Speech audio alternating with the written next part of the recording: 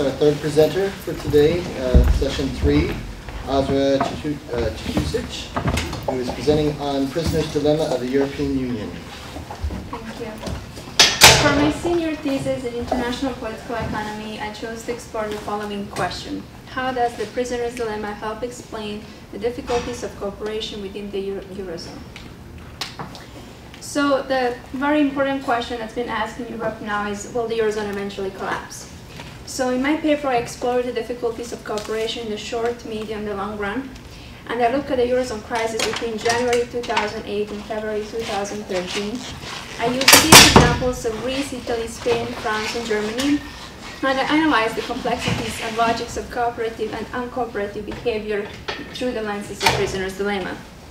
The thesis of my paper is that the prisoner dilemma illuminates why member states fail to cooperate in the short run, but cooperation prevails in the long run as the prisoner dilemma transcends to the stag hunt dilemma. The reason why the cooperative behavior eventually emerges is because the conditions of the game change. Those conditions include multiple game interactions, expectations of reciprocity, information sharing, and conditional timing on decisions. So the prisoner's dilemma is a game in the game theory that explains why two individuals might not cooperate even if it is in the best interest to do so. So it explains uh, the following situation. There are two players, they play one shot unrepeated game. There is no communication between them. They are both rational actors and they assume the other one is a rational actor as well. They make simultaneous choices in discrete time intervals and they have symmetric payoffs. So the story goes as follows. The two players, the two prisoners are caught for the for their crime and they're put in the separate rooms and they're following this they have the following um, um, decisions to make so they can either confess meaning that they are gonna defect on the other uh, prisoner or they can cooperate meaning keep silent if both of them cooperate and keep silent they'll both get five year sentence however if one of them defects, meaning confess, while the other cooperates, keep silent. The one that confessed will be free, while the other one will get full 20-year sentence. If both of them confess and defect, meaning they'll get 10-year sentence, both of them. So in the case of the prisoner's dilemma of the Eurozone crisis, I made the following matrix that relates to it. So on one side, as a prisoner A, we have Greece, Italy, Spain, and France, which are currently the uh, deficit countries in the Eurozone. And the other side, as a prisoner B, I have Germany. Uh, Germany, I chose Germany because it's the, uh, uh the largest economy in Europe, and second because the, in the EU institutions, uh, EU, EU, EU, institutions cannot really um, help financially other um, countries to help to you know go after they go through the financial crisis. It has to come from the other countries like surplus countries through bilateral loans. So in that case, I use Germany.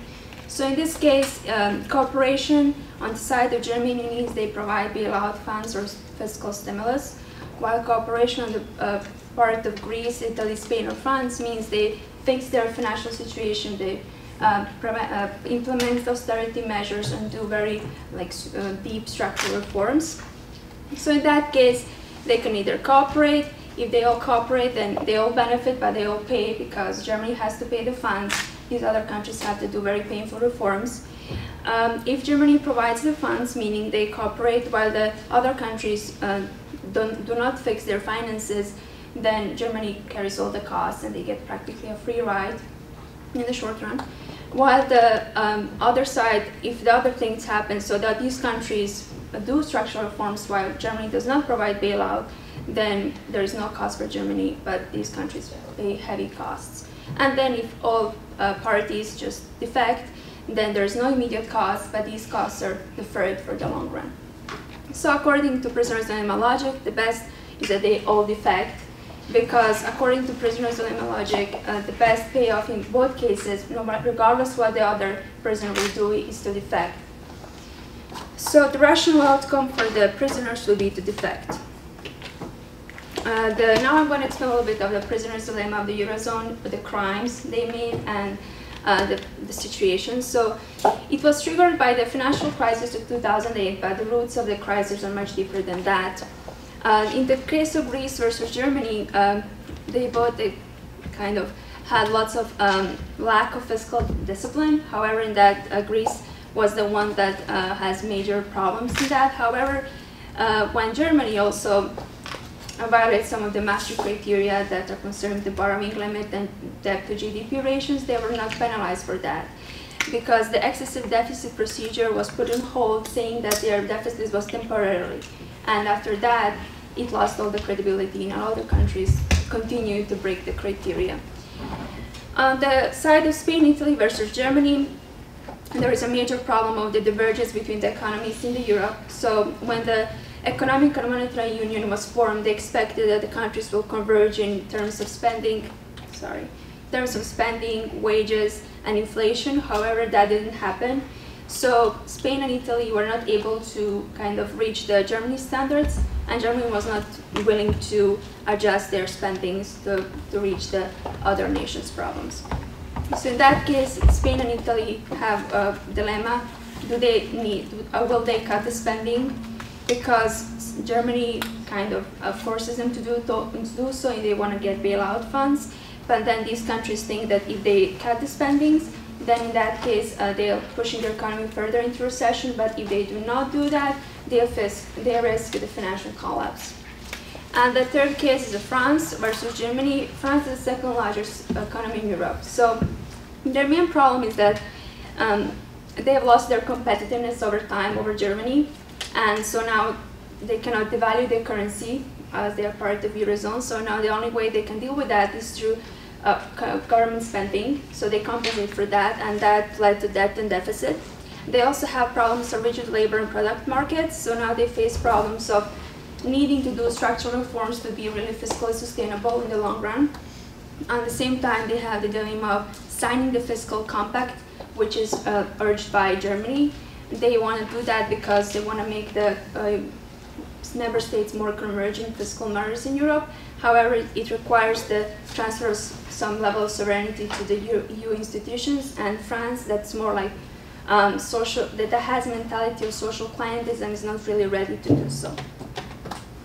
So, according to Prisoner's Dilemma, they all, all would need to defect, and that idea helps explain the persistence to cooperations in the member states in the short run, meaning the immediate crisis. That's the time where there is not enough information, when they feel they need to make decisions quickly, and when they don't have time to communicate each, between, each, between each other. However, in the medium and long run, they'll realize that they'll do worse by defecting than if they cooperated. So the game slowly moves towards the optimal equilibrium.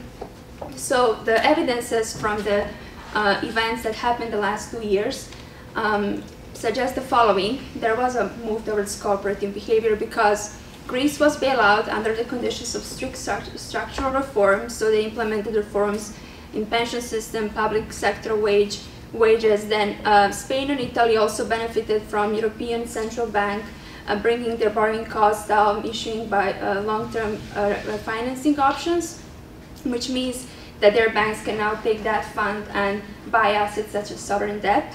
However, they also uh, got that based on their conditional reforms, such as that include more competitive practices. And then the last one, France, also did some structural reforms started, uh, such as retirement age, they raised their uh, value-added tax, bank reforms, and they ratified the fiscal compact.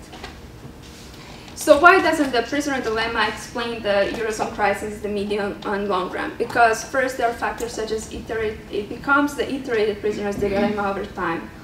So over time, there is an indefinite number of uh, game interactions, and there is a large shadow future, so the players don't really know um, what's going to happen, and every event that's going on, it's important for them to know what's to, as a result of the Eurozone crisis.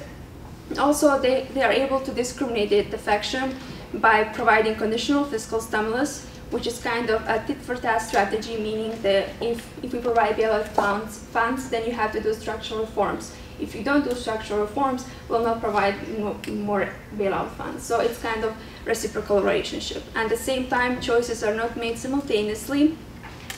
And another thing is they, they, they found a way to kind of um, make non-cooperative behavior ostracized and noticed by providing the, um, giving the authority to EU Court of Justice to penalize countries for not kind of um, maintaining the criteria. And so uh, the next thing that's uh, happening is that the prisoner dilemma actually transcends to the Stag Hunt dilemma, which helps explain behavior in the large groups.